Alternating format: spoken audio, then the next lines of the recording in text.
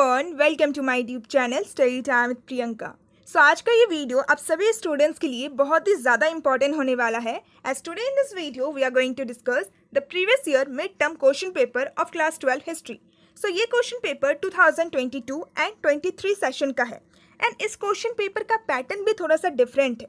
But इस question paper के सारे ही क्वेश्चंस आप लोगों के लिए बहुत ही ज़्यादा हेल्पफुल होने वाले हैं। सो so, इसी वजह से मैं ये previous year mid term question आप लोगों के साथ शेयर कर रही हूँ। सो ये वीडियो सच में आप लोगों के लिए बहुत ही ज़्यादा हेल्पफुल होने वाला है। So please it's a request that watch the video till the end and I don't know कि आप लोग का हाफ़ ईयरली का सिलेबस क्या है। सो so, जो भी चैप्टर्स आप लोग के हाफ़ ईयरली के सिलेबस में इंक्लूडेड है सो so, उन सारे चैप्टर्स के क्वेश्चन को आप लोग चूज़ कर सकते हो। सो so, नाउ अब हम लोग सबसे पहले इस क्वेश्चन पेपर के पैटर्न को एक बार क्विकली डिस्कस कर लेते हैं। सो so, इस क्वेश्चन पेपर में टोटल छः सेक्शन है। सो सेक्शन ए में ट्वेंटी ऑब्जेक्टिव टाइप क्वेश्चन पूछा गया है। सेक्शन बी में एक केस बेस्ड या फिर एक सोर्स बेस्ड क्वेश्चन पूछा गया है। सेक्शन सी में फोर शॉर्ट क्वेश्चन आंसर पूछा गया है। सेक्शन डी में तीन लॉन्ग क्वेश्चन आंसर पूछा गया है। सेक्शन ई e में भी तीन सोर्स बेस्ड क्वेश्चन पूछा गया है। एंड सेक्शन एफ़ में एक मैप बेस्ड क्वेश्चन पूछा गया है। सो so, जैसे कि आप लोगों ने देखा कि इस क्वेश्चन पेपर का जो पैटर्न है वो आपके लेटेस्ट पैटर्न से मैच नहीं करता है। बट इस क्वेश्चन पेपर के सारे क्वेश्चंस बहुत ज़्यादा इंपॉर्टेंट हैं। एंड हो सकता है कि इनमें से कोई एक क्वेश्चन आप लोग के भी हाफ़ ईयरली के एग्ज़ाम में पूछा जाए। सो so, इसी वजह से ये सारी क्वेश्चंस मैं आप लोगों के साथ शेयर कर रही हूँ। सो ना अब बिना टाइम वेस्ट किए हम लोग इस क्वेश्चन पेपर के सारे क्वेश्चन को डिस्कस करते हैं विद दियर सोल्यूशन सो सबसे पहले हम लोग सेक्शन ए को डिस्कस करते हैं जिसमें मल्टीपल चॉइस क्वेश्चन पूछा गया है। सो so, पहला क्वेश्चन है which of the following statement is about Nalayira Divya Prabandham? So so, इन चारों स्टेटमेंट में से कौन सा स्टेटमेंट नालायरा दिव्या प्रबंधम से रिलेटेड है? सो क्वेश्चन नंबर वन का राइट आंसर हो जाएगा option number B which is it was described as a Tamil Veda so Nalayira Divya Prabandham को तमिल वेदा भी कहा जाता है। Now next question is question number two in which book have the bani of Baba Guru Nanak Baba Farid Ravidas and Kabir Das been compile so कौन से book में हमें Baba Guru Nanak Baba Farid Ravidas and Kabir Das के कॉम्पोजिशन मिलते हैं? सो so, इस question में option available नहीं है सो so, इस क्वेश्चन का राइट आंसर हो जाएगा Adi Granth Sahib. Next question is question number three who was also called as Danka Shah so so, इनमें से किस व्यक्ति को दंका शाह भी कहा जाता है? सो so, इसका राइट आंसर हो जाएगा option number A which is Maulvi Ahmadullah Shah next question is question number four Raja Krishnadeva Raya the famous ruler of Vijayanagar was related to so Vijayanagar के एक बहुत ही फ़ेमस रूलर थे जिनका नाम था राजा कृष्णदेव राय सो वो कौन से डायनेस्टी से बिलोंग करते थे? सो क्वेश्चन नंबर फोर का राइट आंसर हो जाएगा option number B which is from Tuluva dynasty next question is question number five who founded the Mughal dynasty Mughal dynasty कौन से रूलर के द्वारा फाउंड किया गया है? सो so, इस क्वेश्चन में भी ऑप्शन अवेलेबल नहीं है बट ये बहुत ही इजी क्वेश्चन है। इस क्वेश्चन का आंसर होगा Babur in fifteen hundred and twenty six next question is question number six The Hindu text, which was translated into Persian language by the name of Razmanama is. So, इनमें से वो कौन सा Hindu text है जिसको Persian language में translate किया गया है एंड उस हिंदू टेक्स्ट का नाम पर्शियन लैंग्वेज में रजमनामा रखा गया है सो क्वेश्चन नंबर सिक्स का राइट आंसर हो जाएगा option number B which is Mahabharata so Akbar के द्वारा महाभारता को पर्शियन लैंग्वेज में ट्रांसलेट किया गया था एंड फिर उसका नाम रजमनामा रखा गया था, जिसका मतलब होता है the book of war next question is question number seven Siddhartha as the Buddha was named at birth belong to which kingdom so Gautam Buddha, जिनका जन्म के टाइम में नाम सिद्धार्थ रखा गया था सो so वो कौन से किंगडम से बिलोंग करते थे? सो क्वेश्चन नंबर सेवन का राइट आंसर हो जाएगा option number A which is Shakya next question is question number nine who among the following was the ruler of Bhopal so इनमें से कौन भोपाल की रूलर थी?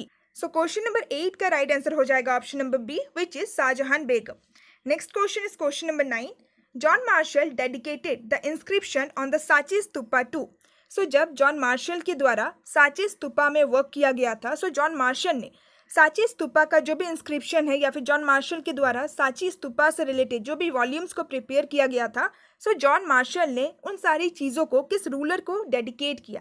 सो क्वेश्चन नंबर नाइन का answer हो जाएगा option number A which is Sultan Jahan next question is question number ten according to Jainism how many Tirthankaras were there before Mahavira so Jainism के according Mahavira से पहले total कितने सारे तीर्थंकराज रहे थे?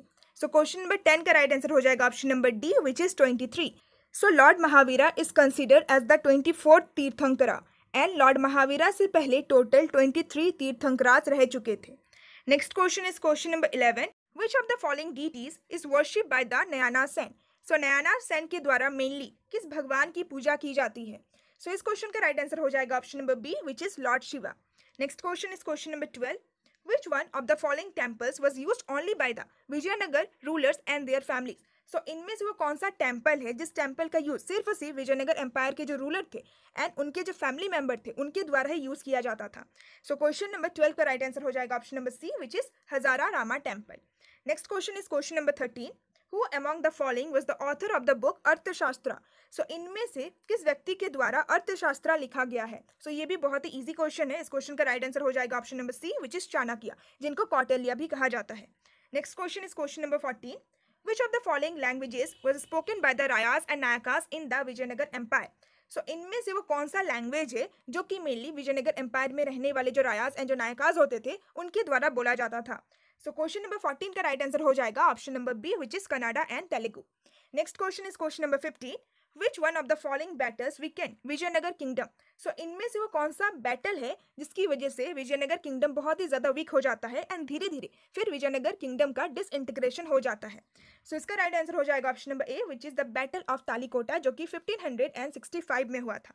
Next question is question number sixteen who among the following Begums provided money for the preservation of the साची स्तूपा सो इनमें से वो कौन सी बेगम थी जिन्होंने साची स्तूपा को प्रिजर्व करने के लिए मनी प्रोवाइड किया था? सो so, इसका राइट आंसर हो जाएगा option number A which is Shahjahan Begum next question is question number seventeen who among the following had issued the first gold coins in the first century C so इनमें से किस dynasty के ruler के द्वारा पहला golden coin को issue करवाया गया था लगभग फ़र्स्ट सेंचुरी सी के टाइम पीरियड के दौरान सो so, इस क्वेश्चन का राइट आंसर हो जाएगा option number D which is the Kushanas ruler next question is question number eighteen which one of the following statement is the correct explanation of endogamy so इनमें से वो कौन सा statement है जो कि एंडोगेमी को करेक्टली एक्सप्लेन कर रहा है? सो so, इसका राइट आंसर हो जाएगा option number B which is marriage within a kin group endogamy का मतलब होता है अपने ही किन ग्रुप में शादी करना। Next question is question number nineteen which one among the following dynasties built the Hiriya canal so इनमें से कौन से डायनेस्टी के रूलर के द्वारा हिरिया कैनल को बनाया गया था? सो इसका राइट आंसर हो जाएगा option number A which is Sangama dynasty and now the last multiple choice question that we have is question number twenty who was Ibn Battuta Ibn Battuta कौन थे? सो so, इसका right right answer हो जाएगा a Moroccan traveller so with this हमारा section A complete होता है, हम लोगों ने total twenty multiple choice question discuss किया. Now according to this question paper pattern section B में हमें एक सोर्स बेस्ड क्वेश्चन पूछा गया है. सो so, हमारा सोर्स बेस्ड क्वेश्चन है about the system of varna so ये जो सोर्स बॉक्स है ये आपको चैप्टर नंबर फाइव में मिल जाएगा page number one hundred and twenty five में. सो so, हम लोग सोर्स बॉक्स को डिस्कस नहीं करते हैं हम लोग डायरेक्टली क्वेश्चन को डिस्कस करते हैं एंड फिर हम लोग उनके आंसर्स को डिस्कस करेंगे. सो so, पहला क्वेश्चन है who were considered as the very best of mankind so चार वर्णों में से कौन से वर्ण के मेंबर को the very best of mankind consider किया जाता है? सो so, इसका आंसर होगा Brahmana who were considered as the highest caste next question is question number two how were Kshatriyas created so Kshatriyas कहाँ से क्रिएट हुए हैं? सो so, इसका आंसर आपको सेकंड पैरा में मिल जाएगा. And third question is what was the duty of Vaishyas so Vaishyas varna के जो मेंबर होते हैं उनका क्या ड्यूटी होता है? सो so, उनका ड्यूटी होता है to engage in agriculture pastoralism and trade so question number twenty one का फ़र्स्ट क्वेश्चन का आंसर हो जाएगा ब्राह्मण. सेकंड क्वेश्चन का आंसर हो जाएगा Kshatriyas were created from the shoulder and hands of Brahmana and third question का answer हो जाएगा that Vaishyas duty was to engage in agriculture pastoralism and trade so with this question हमारा section B भी complete होता है। Now next section is section C so section C में हमें short question answer दे रखा है। सो so, पहला question है Harappan script was an enigmatic script explain so Harappan script को एक एनिजमेटिक स्क्रिप्ट क्यों कहा जाता है? सो so, ये एक बहुत ही इंपॉर्टेंट क्वेश्चन है। And even history chapter one का जो मैंने इंपॉर्टेंट क्वेश्चन आंसर वाला वीडियो बनाया है सो so उसमें भी मैंने आप लोगों को कहा था कि ये एक बहुत ही इंपॉर्टेंट क्वेश्चन है। इवन ये एक प्रीवियस ईयर क्वेश्चन है कि हरपन स्क्रिप्ट को एक एनिजमेटिक स्क्रिप्ट क्यों कहा जाता है? सो so, इस क्वेश्चन का आंसर मैं आप लोगों को प्रोवाइड कर देती हूँ एंड आई होप कि आप लोगों ने चैप्टर में बहुत ही अच्छी तरीके से हर एक चीज़ को समझा होगा। सो so, डायरेक्टली मैं आप लोगों को आंसर रीड करके बता देती हूँ क्योंकि अगर मैं हर एक क्वेश्चन के आंसर को एक्सप्लेन करने गई देन ये वीडियो बहुत ही ज़्यादा लंबा हो जाएगा। बट अगर आपको चैप्टर को अच्छी तरीके से समझना है या फिर इस क्वेश्चन के आंसर को बहुत ही अच्छी तरीके से समझना है then please check out my description box description box में आपको क्लास ट्वेल्व हिस्ट्री के सारे ही चैप्टर्स के एक्सप्लेनेशन वीडियोज़ भी मिल जाएँगे।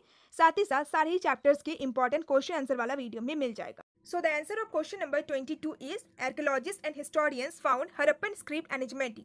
The reason behind it were first point, Harappan seals usually had a line of writing containing the name and title of the owner. Sometimes the motifs conveyed a meaning to those who could not read. Second point is the script was non-alphabetical. It had many signs, somewhere about 375 to 400. It was written from right to left. Third point is most inscriptions were short. The longest contained about 26 signs. Each sign stood for a vowel or consonant. And the fourth point is sometimes it contained a wider space, sometimes shorter, had no consistency. So till today the script remains undeciphered so इन सारे reasons की वजह से Harappan script को एक enigmatic script कहा जाता है। Enigmatic का मतलब होता है जो बहुत ही ज़्यादा मिस्टेरियस होता है जिसको समझना बहुत ही ज़्यादा डिफ़िकल्ट होता है। सो so, मैंने अपने इंपॉर्टेंट क्वेश्चन आंसर वाले वीडियो में इस क्वेश्चन को बहुत ही अच्छी तरीके से एक्सप्लेन भी किया है। सो so, अगर आपको क्वेश्चन के आंसर को अच्छी तरीके से समझना है देन प्लीज़ आप उस वीडियो को देखिए। लिंक आपको मेरे डिस्क्रिप्शन बॉक्स में मिल जाएगा। So question number twenty two में और एक ऑप्शन प्रोवाइड किया गया है। सो so, इस क्वेश्चन को भी हम लोग डिस्कस कर लेते हैं। सो क्वेश्चन है what were the limitations of inscriptional evidence so inscriptional evidence का क्या लिमिटेशन होता है?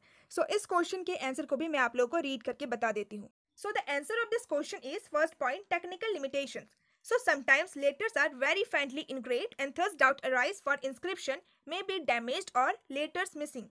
Second point is damaged or missing letters. So sometimes important letters are damaged or missing in the inscription. It makes the work for epigraphist more difficult. Third point, lack of clarity. So it is not always easy to be sure about the exact meaning of the words used in the inscription, some of which may be specific to a particular place or time. So scholars are consistently debating on alternative ways to read inscription. Fourth point is undeciphered inscription. So thousands of inscriptions have been discovered, but not all have been deciphered, published and translated. Many inscriptions were destroyed and what we have today is probably a fraction of it. Now the fifth point is non-relevance of inscriptions. So inscriptions were composed in praise of kings and patrons in general.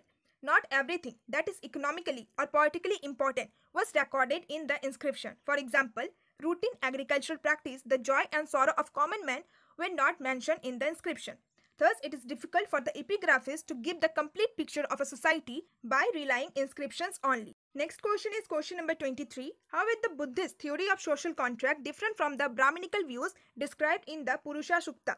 So, किस तरीके से Buddhist का जो theory है social contract का, वो बहुत ही ज़्यादा अलग है, बहुत ही ज़्यादा डिफरेंट है from the Brahmanical view Brahmanas का जो सोशल कॉन्ट्रैक्ट थ्योरी है, जो कि हमें पुरुषा सुक्ता में देखने को मिलता है so Buddhist theory and Brahmanical theory किस तरीके से एक दूसरे से डिफरेंट है So the answer of question number 23 is the Purusha Shukta of the Rig Veda says that the four Varnas emerged because of the sacrifice of Purusha, the preamble man. The four Varnas were Brahman, Kshatriya, Vyas and Shudra. These Varnas had different jobs. The Brahmans had supreme position in the society. They were also considered as teachers. Kshatriyas were considered as warriors. They also run the administration. The Vyas were the master of trade. The Shudras were at the lowest strata. Their duty was to serve the above three Varnas. Under this Brahminical system, birth was the only criteria to judge the status and prestige in the society. Now next, अगर हम लोग Buddhist theory की बात करें, but the Buddhist theory of a social contract was different. As per the Buddhist concept, there was inequality in society. But they also opined that this inequality was neither natural nor permanent. They did not favor the idea of birth being the criteria of social status. Next question is question number 24. The Amara Naika system was a major political innovation of the Vijayanagar Empire. Explain. सो अमारा nayaka system Vijayanagar empire का एक बहुत ही important political innovation है, यानी कि एक राजनीतिक खोज है सो so, इस चीज़ को हमें एक्सप्लेन करना है the answer of question number 24 is the amara nayaka system was a major political innovation of the Vijayanagara empire it is likely that many features of this system were derived from the iqta system of the Delhi Sultanate The Amaranaikas were military commanders who were given territories to govern. They collected taxes and other dues from peasants, craftspersons and traders in the area. They retained part of the revenue for personal use and for maintaining a stipulated contingent of horses and elephants. The Amaranaikas sent tribute to the king annually and personally appeared in the royal court with gifts to express their loyalty. Next question is question number 25. Who were Vairashivas and what prevailing evils in the society did they oppose? सो वैरा शिवास किन सारे लोगों को कहा जाता है and उन्होंने society में कौन से इविल प्रैक्टिसेस को अपोज किया है So the answer of question number 25 is a new movement emerged in Karnataka led by a Brahman named Vasavana in the 12th century. His followers were known as Vairashivas or Lingyats. They worshipped Shiva mainly in the form of linga and also wear a small linga in a silver case. They believe that on death, the devotee will be united with Shiva and will not return to this world. The Lingyas oppose the idea of caste and pollution attributed to certain groups by Brahmins. They also question the theory of rebirth. The Lingyas also encourage certain practices disapproved in the Dharma Shastra such as post-puberty marriage and remarriage of widows. So with this हमारे section C के सारे questions complete होते हैं ना जो हमारा next section है वो है section number D so section D का पहला लॉन्ग क्वेश्चन है। Kabir is a source of inspiration for those who question the entries religious and social institution ideas practices in their search of divine With reference to above statement, explain the teachings of Kabir So Kabir को एक source of inspiration माना जाता है ऐसे लोगों के द्वारा जो कि डिवाइन के सर्च में है यानी कि सत्य की तलाश में है। ऐसे लोग जो ये मानते हैं कि सोसाइटी में जो रिलीजियस सोशल इंस्टीट्यूशन है जो आइडियाज़ एंड जो प्रैक्टिसेस है सो उसको चेंज करना बहुत ही ज़्यादा मुश्किल है वो रिजिड हो चुके हैं। सो ऐसे लोग कबीर को सोर्स ऑफ़ इंस्पिरेशन की तरह मानते हैं।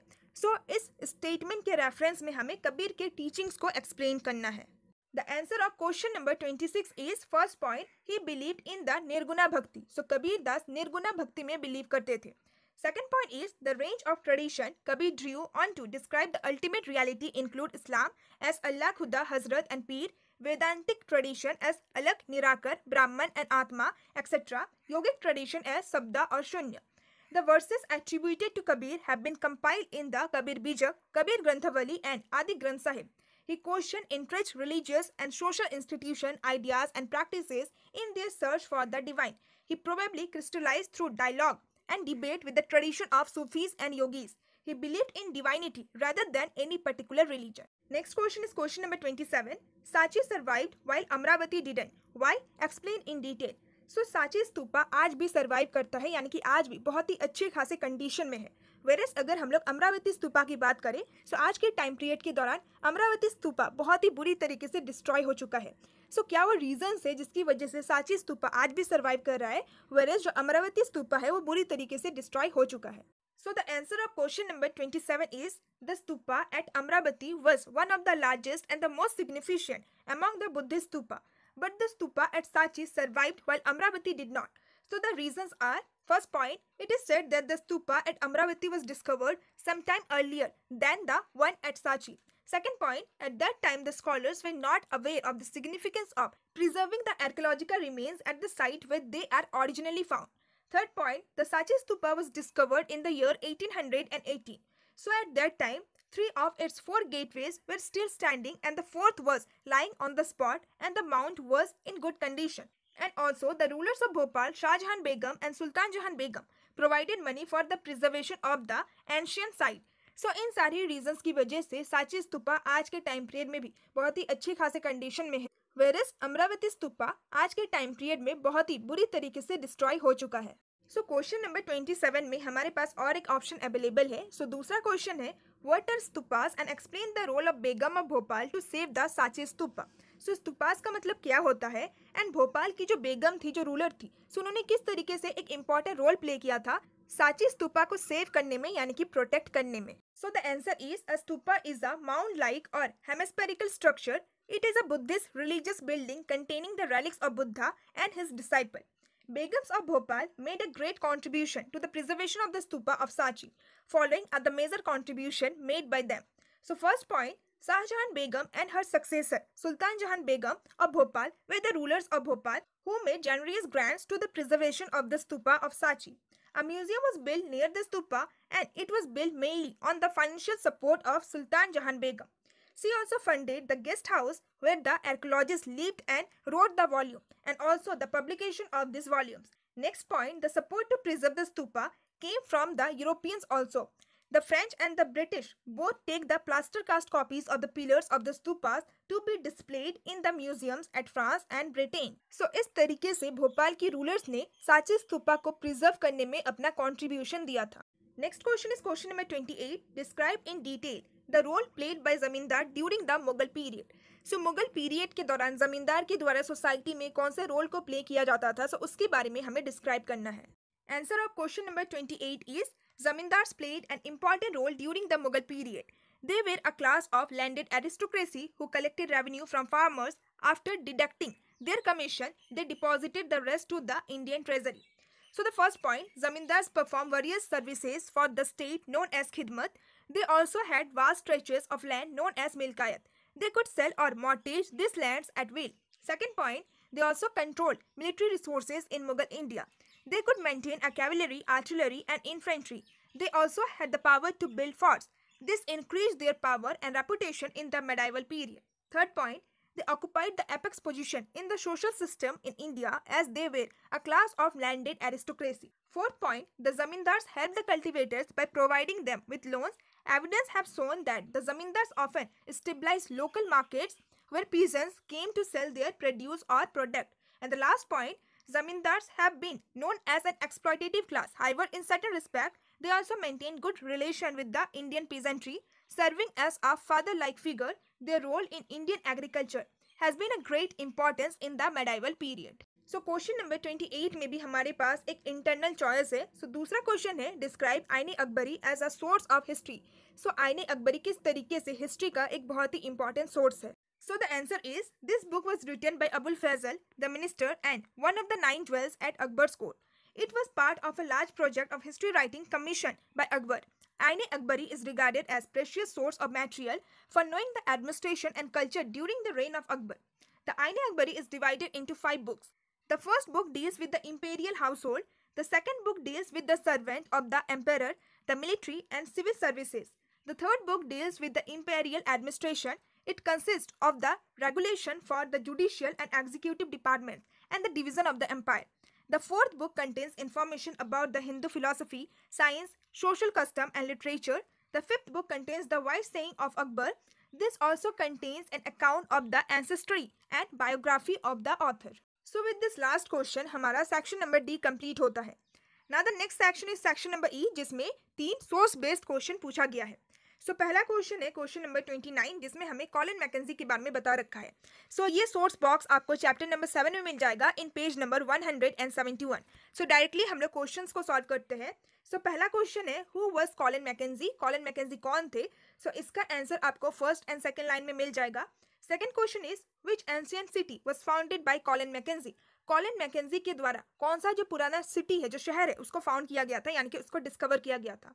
And third question is why did he start the surveys आखिर कॉलिन मैकेजी के द्वारा सर्वेस को क्यों स्टार्ट किया गया था? So question number twenty one का पहला क्वेश्चन का आंसर हो जाएगा that Colin Mackenzie was a famous engineer surveyor and cartographer in 1815 he was appointed as the first surveyor general of India second question का answer हो जाएगा हम्पी जिसको विजयनगर भी कहा जाता है which is the capital city of Vijayanagar empire so ये city Colin Mackenzie के द्वारा डिस्कवर किया गया था. एंड थर्ड क्वेश्चन का राइट आंसर हो जाएगा that he started the service in order to better understand India's past and make governance of the colony easier so Colin Mackenzie India के past यानी कि हिस्ट्री को समझना चाहते थे और जो कॉलोनियल रूल है, यानी कि ब्रिटिशर्स का जो रूल है सो so उनके रूल उनके गवर्नेंस को ईजियर बनाने के लिए ही कॉलिन मैकेजी के द्वारा सर्विस स्टार्ट किया जाता है। Now the next source based question that we have is question number thirty so इसमें हमें द लोनली ट्रैवलर के बारे में बता रखा है। सो so, ये सोर्स बॉक्स आपको चैप्टर नंबर फाइव में मिल जाएगा in page number one hundred and nineteen so पहला क्वेश्चन है what challenges did the author face during his travel so author के द्वारा अपने ट्रैवल के दौरान अपने जर्नी के दौरान कौन से कौन से चैलेंजेस फेस किए गए? दूसरा क्वेश्चन है who was the author of Rihla so Rihla किस व्यक्ति के द्वारा लिखा गया है? रहला बुक के ऑथर का नाम क्या है?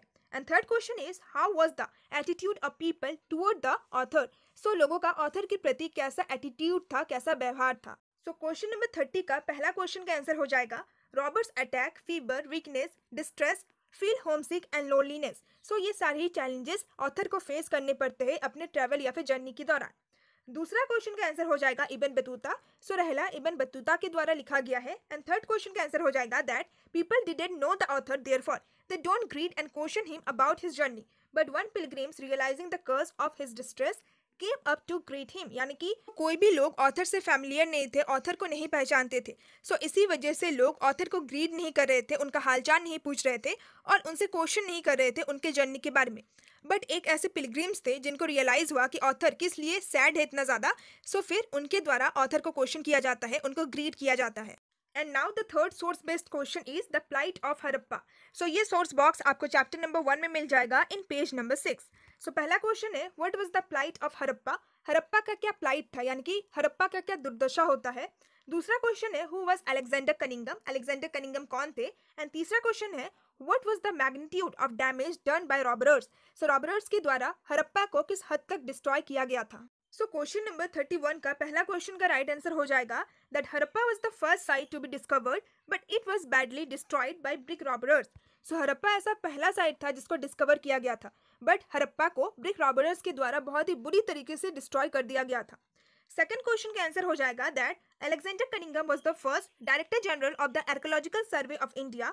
He is also known as the father of Indian archaeology. So Alexander Cunningham A S I यानी कि आर्कोलॉजिकल सर्वे ऑफ़ इंडिया के पहले डायरेक्टर जनरल थे एंड अलेक्जेंडर कनिंगम को फादर ऑफ़ इंडियन आर्कोलॉजी भी कहा जाता है एंड थर्ड क्वेश्चन का आंसर है the amount of brick taken from the ancient site was enough to lay bricks for about hundred miles of the railway line between Lahore and Multan many of the ancient structures at the site was damage so so, Harappa site से जितने सारे BRICS को चुराया गया है सो so उन सारे bricks से लगभग हंड्रेड माइल्स का रेलवे लाइन बन जाता फ्रॉम लाहौर टू मुल्तान साथ ही साथ हरप्पा साइड में जितने भी एंशियन स्ट्रक्चर्स थे सो so बहुत सारे एंशियन स्ट्रक्चर्स को भी डैमेज किया गया था. So with question number thirty one हमारा सेक्शन नंबर ई भी कंप्लीट होता है. Now the last section of this question paper is section number F जिसमें हमें एक मैप बेस्ड क्वेश्चन पूछा गया है। सो so, पहला क्वेश्चन है identify Lothal Harappa and Mohenjodaro on given points A B and C so इस मैप में तीन पॉइंट दे रखा है ए बी एंड सी सो आपको इन तीनों ही जगह को यहाँ पे लोकेट करना है। सो so, पहला है लोथल सो so, लोथल गुजरात में है सो so, बी में आपको लोथल लिखना है। दूसरा है आपका हरप्पा सो so, हरप्पा आज के टाइम पीरियड में पाकिस्तान पंजाब में है सो so, ए आपका हरप्पा हो जाएगा। एंड तीसरा है Mohenjodaro so so, Sindh province में है। सो so, सी में आपका मोहनजोदारो हो जाएगा। सो so, ए में आपका हरप्पा बी में लोथल एंड सी में मोहनजोदारो हो जाएगा। नेक्स्ट क्वेश्चन है। On the same outline map of India, mark three places related to Mahajanapada so इसी मैप में आपको तीन प्लेसेस को मार्क करना है जो कि महाजनपद से रिलेटेड है या फिर आप सिंपली कह सकते हैं कि इस मैप में आपको किसी भी तीन महाजनपद को लोकेट करना है। So this is the map of 16 Mahajanapada with their capital so आप मैप में किसी भी तीन महाजनपद को लोकेट कर सकते हैं। So with this we have discuss the whole mid term question paper with their solution so I hope कि ये वीडियो आप लोगों के लिए बहुत ही ज़्यादा हेल्पफुल रहा होगा। एक बार आपका रिवीजन हो गया होगा कि अभी तक आप लोगों ने कितना कुछ पढ़ा है। सो so, प्लीज़ इस वीडियो को अपने फ्रेंड्स के साथ भी ज़रूर शेयर कीजिएगा and please subscribe to my channel and press the bell icon अगर आप ऐसे और भी इंपॉर्टेंट वीडियोज़ देखते रहना चाहते हैं। एंड अगर आपको ये वीडियो हेल्पफुल लगा then please like my video and please comment में डाउन कि आपको ये वीडियो कैसा लगा। And once again I am requesting कि अगर आपको अपने क्लास ट्वेल्व हिस्ट्री के किसी भी चैप्टर को बहुत ही अच्छी तरीके से समझना है साथ ही साथ अगर आपको अपने क्लास ट्वेल्व हिस्ट्री के सारी चैप्टर्स के इंपॉर्टेंट क्वेश्चन आंसर वाला वीडियो देखना है then please check out my description box link आपको मेरे डिस्क्रिप्शन बॉक्स में मिल जाएगा। सो विद दिस आज के इस वीडियो का एंड करते हैं। So now see also in my next video till then bye bye and stay my channel and thanks for watching my video